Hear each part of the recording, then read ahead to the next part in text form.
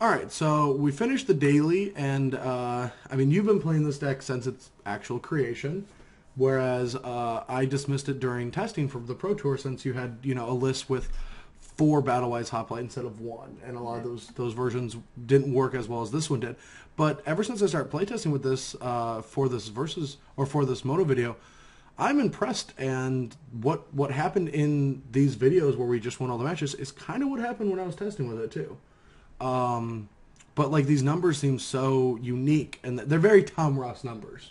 But what what ends up happening is the deck doesn't feel like it stumbles as much, even though like there's a lot of unique one ofs and two ofs. It's just more of a compliment. Like the deck wants five Ordeals, so yes, you'd play a, a blue one over this. I'm guessing if you had it, but you do want that additional one, and you want six of this effect. And and I do like that you've ran the numbers to where you even have this Battlewise Hoplite that every time I draw it feels good. Um, but yeah, so what I'd want to ask you is after playing this deck, it's it's obviously powerful. I don't really need to talk about that anymore. Ross Merriam, well-known player on the Star City circuit, crushed the event. Uh, you ended up fumbling against a lot of the aggressive decks, and I don't know if there's a way to perfect that. But uh, moving forward, where do you think this deck goes? I think the list right now is very good. I, tr- I tried an experimental build in Cleveland that ran uh, Heliod's Pilgrim again, which I think is one of the better cards against uh, Esper Dragons. And my matchup against those were really good, except but it, uh, yeah, I fumbled against aggro by taking more control in the route, I guess. But uh, yeah, Ross's list looks real good. Um, I really don't know what I'd change with it. If the mirror comes up, you might want a couple cards against it, Like glares? like Glares, yeah.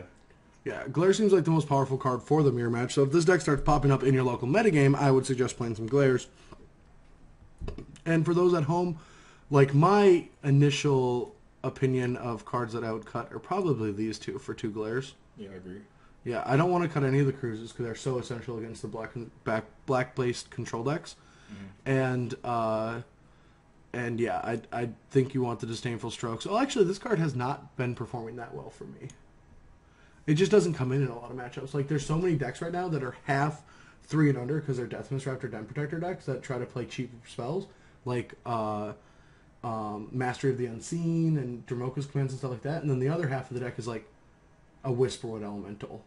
So like I feel like this card might actually just not be the best uh, position. It's good against the control decks because you can keep them from cruxing or perilous vaulting. Even Against the dragons, there are various dragon decks Yeah. right now. Just hits all the dragon decks.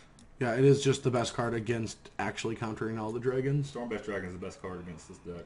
That makes sense. Encase in Ice only like solves it a little bit, they still can monster sit and kind of hurt sometimes. Yeah, but this just counters it straight up. But All right, well, Tom, thanks for uh, coming and playing with me today. I mean, the audience doesn't know this, but I, I made you since we're roommates now. mhm.